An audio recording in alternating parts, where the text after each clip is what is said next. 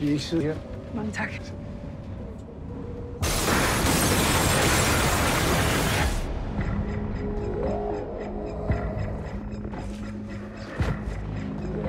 Jeg var med samme tog som din kone og datter. Hvad ved? Jeg synes, du har krav på at vide, at det ikke var en ulykke. Hvis du bare lukker røven lige nu. Ah,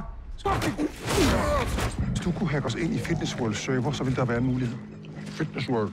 Fitnesskædet, nej, stenhuggeriet i landet. Du skal tale pænt til mig, ellers så gider jeg ikke hjælpe. Hvad vil du bruge det til? Jeg vil hæve min kone. Har du slået nogen ihjel før? Så lad os bare være stille, inden så. Jeg vil bede om at finde alt, hvad I kan for rockergruppen Riders of Justice. Hvor mange medlemmer de har. Hvad de er straffet for. Hvad de er mistænkt for. Navne, adresser. Er det noget, I kan, uden at ligge spor?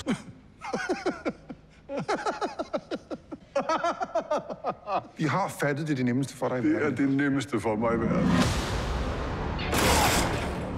Hvad der sker for? Ja, ja, det er jo fordi, han...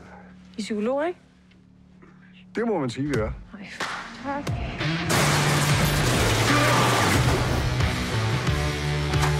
Færdig. Anden klassen. Ingen slår nogen ihjel her. Jeg tror nogle gange, at folk med problemer har det med at finde sammen. Min mor er psykolog og er til rådighed, hvis det endelig er. Pisse, de kan klippe computer. Er ikke afstumpet, Mathilde. Men du er tyk. Hvad? Ja, du er en lille tyk spejbøs. Der er noget, der er helt galt. Du får ikke din kone tilbage ved at gøre det. Jeg stopper bilen, når jeg brækker din næste, jeg lover dig. Skal vi nu ikke bare få det her overstået som team, så vi kan komme hjem og få banankage? Præcis. Jeg siger bare, hun er død, og hun kommer ikke igen.